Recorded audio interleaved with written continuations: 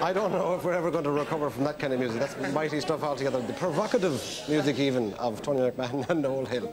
We're going to play a couple of reels. He dibbles.